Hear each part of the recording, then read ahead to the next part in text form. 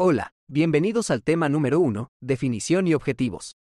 Para empezar, reflexionemos sobre qué emoción nos invade cuando nos dicen, vamos a ser evaluados. Seguramente, en el contexto laboral o educativo podemos sentir miedo y nervios.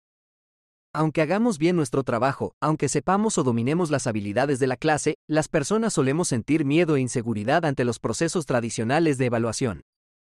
Por otro lado, si somos docentes y les decimos a nuestros estudiantes, la próxima clase haremos evaluación. Estamos acostumbrados a escuchar un, no, profe, no, bueno, ambos ejemplos nos llevan a pensar en el tipo de evaluación tradicional que hemos experimentado hasta ahora.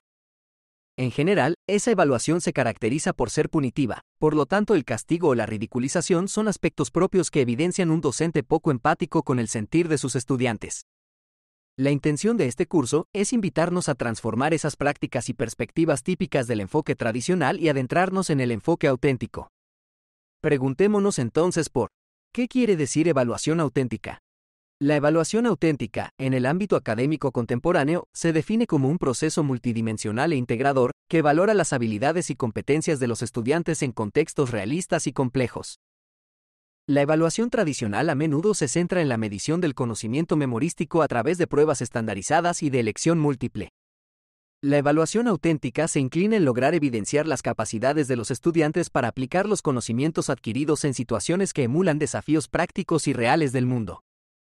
El uso del enfoque de evaluación auténtica tiene como finalidad garantizar que los estudiantes puedan mejorar en sus procesos de aprendizaje, para lo cual se espera que los docentes realicemos evaluaciones periódicas y generamos retroalimentaciones.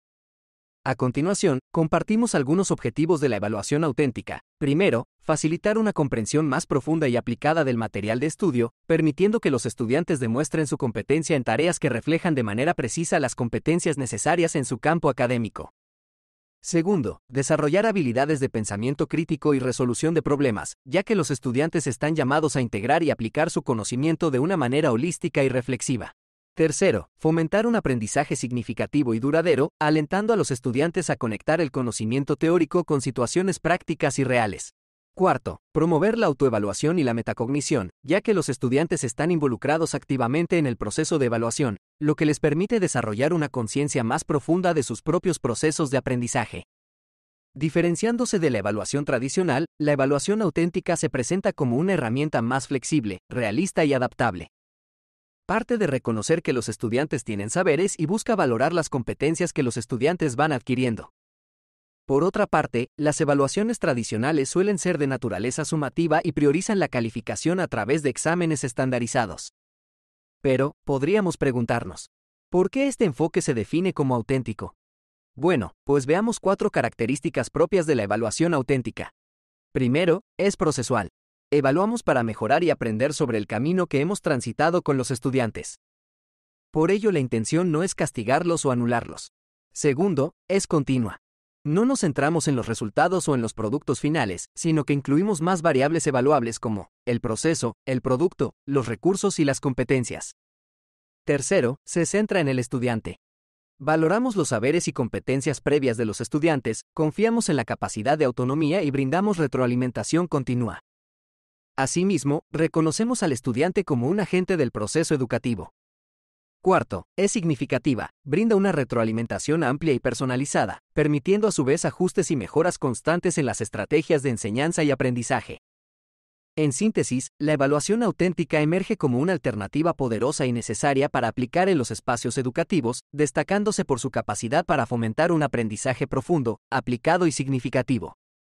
En este enfoque, los estudiantes se motivan a desarrollar una comprensión más significativa y matizada de los materiales de estudio, siendo capaces de transferir y aplicar este conocimiento en contextos reales y prácticos, marcando así una evolución clave en el campo educativo.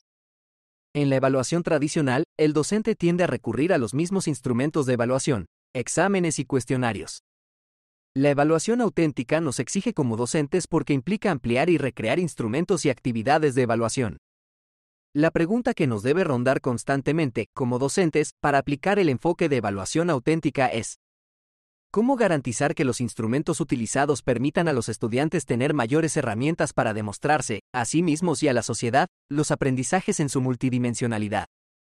Para responder a esa pregunta podemos entonces garantizar la incorporación de una diversidad de herramientas, actividades y criterios de evaluación. Algunas de estas herramientas son estudios de caso, portafolios de aprendizaje, presentaciones orales, proyectos de investigación, simulaciones, juegos de rol, desarrollo de productos o prototipos. En la siguiente lección profundizaremos sobre estas herramientas.